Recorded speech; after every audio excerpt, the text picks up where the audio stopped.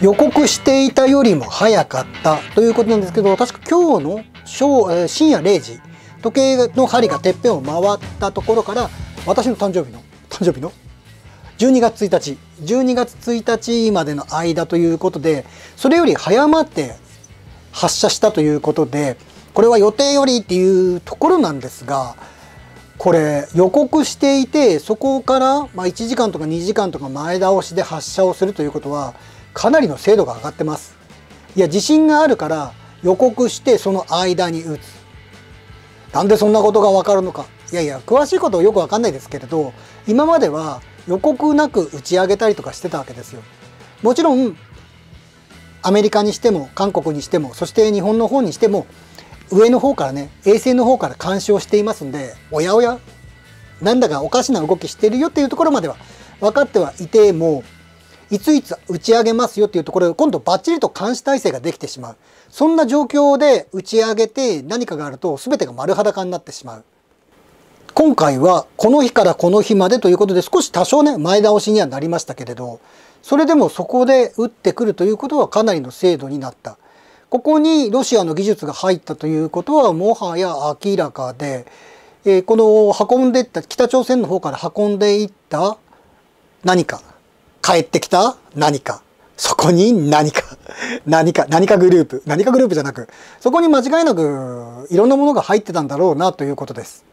ということはもうどうなったかというよりももともとが分かっていたことではあります。まあ、今朝方のですねテレビ朝日羽鳥慎一のモーニングショーでも北朝鮮のこのミサイルの話について触れておりました。その中で皆様大好きなテレビ朝日社員玉川徹さんがまあこれ今後どうなっていくのかとか言ってたんですけれどそしてそこに何かを乗っけてっていうことなんですがで日本もどうするかというんですが今回挙げたのは一応人工衛星と称する何か飛翔体？飛翔体ですね。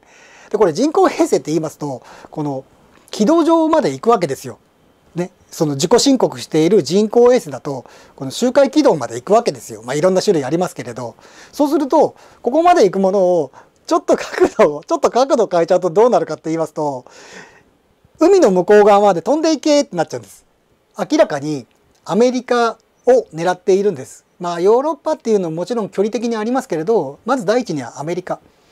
核開発はどうやらほぼほぼ成功しているので本土を目指すまあこれがみんなの見ている前で上げられたということはこれはもうあとはどれだけの確率で上がるのかとこの確率を上げていくだけの話おっかない話をします。いざドンパッチを仕掛けるとなりますと一発だけなら誤射かもしれないとはいかないんですよ。これ冷静に考えてみてください。まあ日本の場合はこういうミリタリー的なものっていうのはあんまり議論しないさせない許さないという設定になってますけれど普通に考えて日本でもまあもちろんアメリカでもどこかの国がそこを向けて撃った時これどうなりますか？そのどこかの国がどこかの国が撃った時にこの時に徹底的なあるいは決定的な徹底的に決定的な攻撃を仕掛けなかったとして中途半端だった時にどうなるでしょうか？例えば一発だけなら誤射かもしれないと。まあこれは我がこととしてえーそしてまあこれは架空な話なので一発だけのその誤射誤射かもしれないものが人里の離れた人的被害のないところに起こったとします。人里離れたところであってもこれが明らかに狙ったんであればこれは国際社会黙っていないです。ただただですよこれはもう力の現実な話なんです。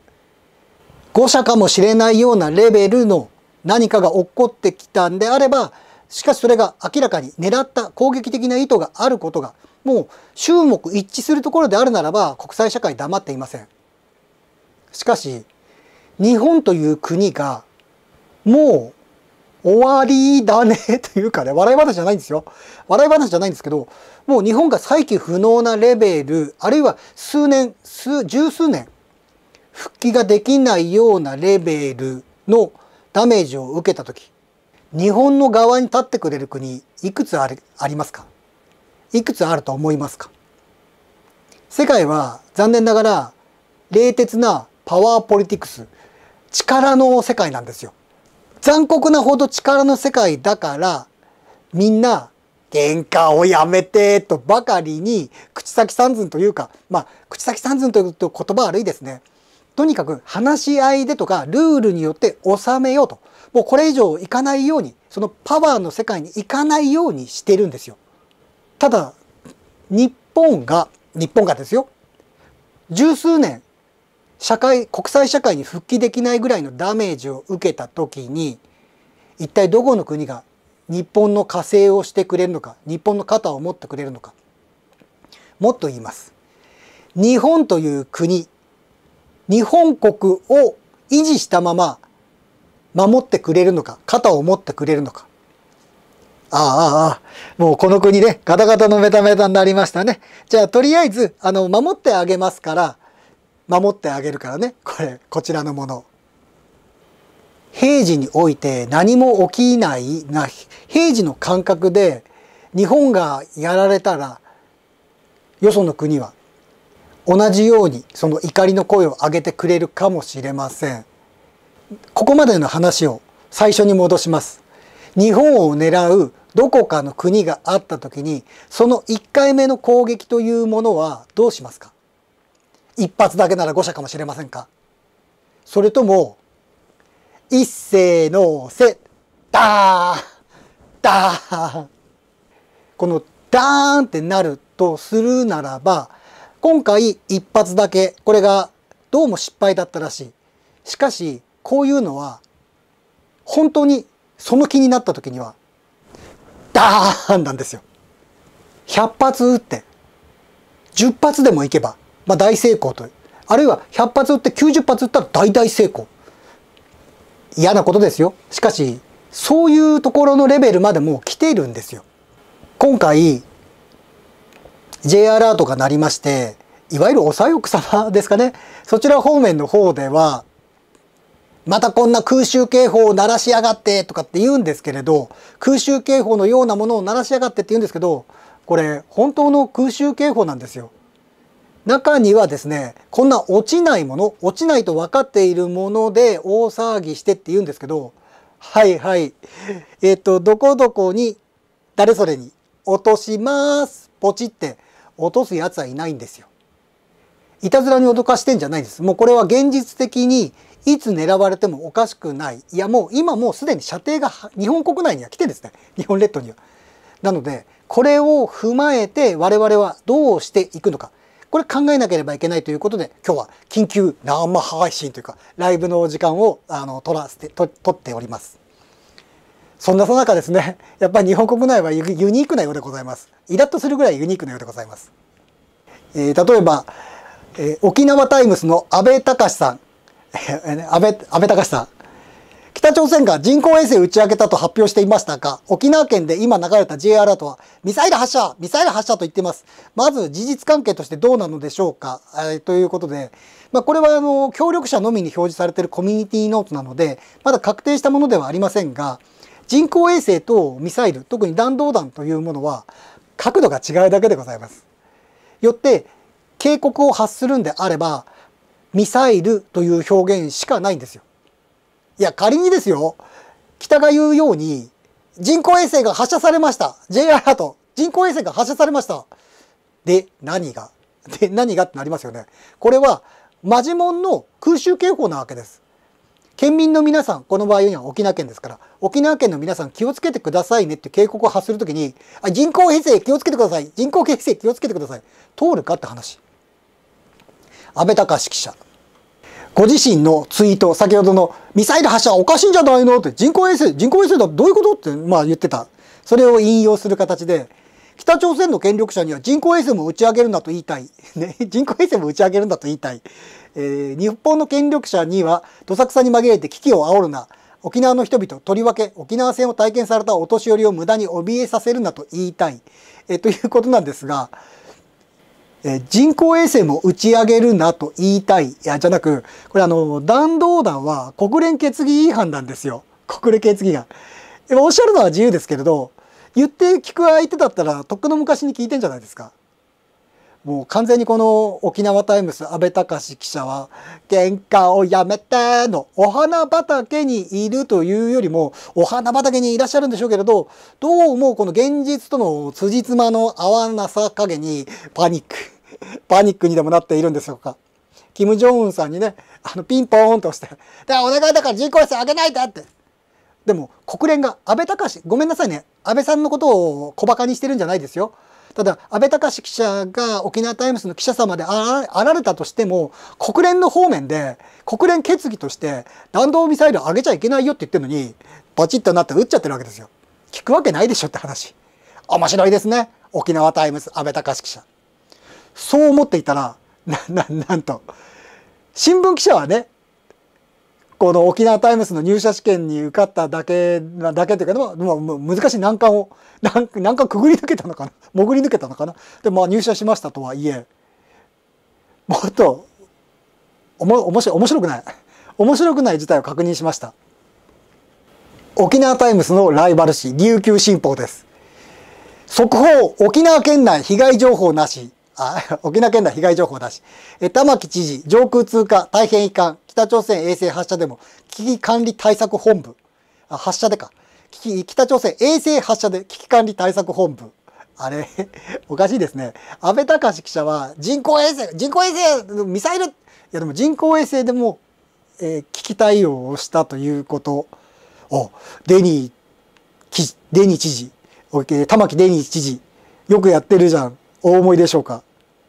見損なっちゃ困りますよこの玉城デニー知事。この記事が出ましたのがですね、えー、ここの、こちらのキャプション。県危機管理対策本部で大変遺憾などと述べる玉城デニー知事。22日午前8時53分。あれ ?22 日午前8時53分。あれ？えっと、J アラートが鳴りまして、実際に打ち上げがあったのが21日の深夜ですね。21日の火曜日の夜遅くにミサイル発射、人工衛星発射となりまして J アラートが鳴りました。危機管理本部開きました琉球新報、えっ、ー、と、玉城電日時、危機管理本部開きました22日午前8時53分。22日午前8時53分。これですね、危機管理云々じゃなく、上空通過大変遺憾ということで、もう飛び去っちゃって、もうどっかにぽちゃんと落ちて、完全にこうね、なんかね、まあ、いかんいかんいかんいかん人の安眠妨害だって、そういうレベルじゃないって話。こちらのすやすやとしたっていうか、あれ沖縄方面 J アラートならなかったんですか？いや、だとしたらこれは J アラートが出なかったっていう大問題なんですよ。沖縄県民の命がかかってる話。なったんでしょ？なって、えっと、翌朝ですか？横川さん、やっぱりあの、働き方改革ですか ?J アラートがなって働き方改革でね、早出とか残業控えなければいけないからね、ちゃんと皆さんあのね、9時に来てくださいね。9時に来ました。でもちょっと早出してきてください。15分ぐらい早出してくるとね、8時53分それでね、危機管理、管理対応。ふざけんなって話じゃないですか？ふざけんなって。玉城デニー知事が、実にお花畑の平和主義者で、のんびりとしたナンクルナイサーという方かもしれませんよ。そういうキャラクターかもしれませんけれど、マスゴミ、まあこれ琉球新報も先ほどの沖縄タイムズもそうですけど、第4の権力と言ってるのは、この政治権力が、あるいはこの全ての行政機構における権力が、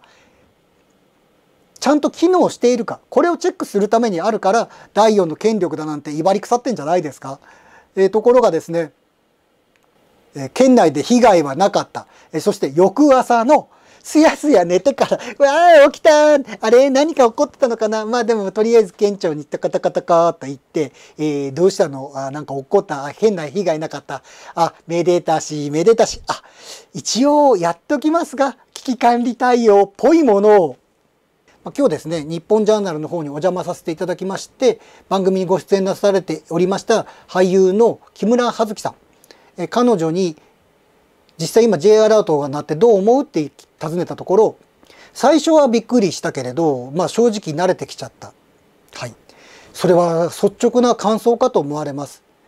間もなくやってくるかもしれない解散総選挙ですか。その時にこの安全保障についてしっかりとプランを持っている、ビジョンを持っている。そうした政治家